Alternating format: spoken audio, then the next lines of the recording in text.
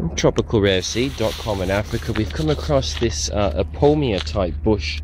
I believe it's Ipomoea carnea, but I'm not actually sure on that. You can see the flowers have closed. Obviously, it's late here in the afternoon. They open on the morning. They normally close on that. You can see it's fairly large on this, and it's got the seed pods which are forming on there. So we'll come back in a couple of months for that.